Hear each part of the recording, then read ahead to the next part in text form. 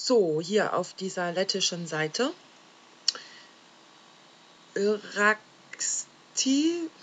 ich habe keine Ahnung, wie man das ausspricht, also L-R-A-K-S-T-I.lv finden sich wunderschöne lettische Muster. Das sind auch wieder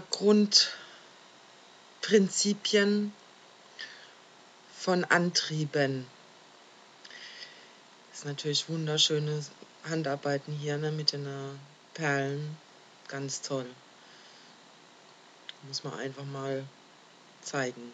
Und diese Muster haben sich natürlich über Generationen hinweg erhalten und haben die Generation, ja, wunderschön, guckt euch das an, was ein Antrieb das ist. Ne? wenn da jetzt noch Licht im Spiel ist, zusammen mit einem Kristall. Ne? Ihr wisst ja, Laser funktionieren mit Kristallen. Ne? Es einfach wunderschöne Muster sind da zu finden. So, und wenn man dann jetzt guckt beim Herrn Wedding, der hat jetzt heute ein Video Otala hochgeladen. Da möchte ich jetzt nur kurz darauf hinweisen, ja, Wunder über Wunder.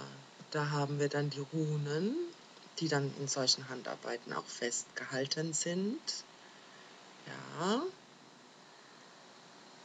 haben wir dann als Antrieb. Hier oben sind sie auch nochmal in, in äh, Pause drin, also in einer gepausten Ansicht.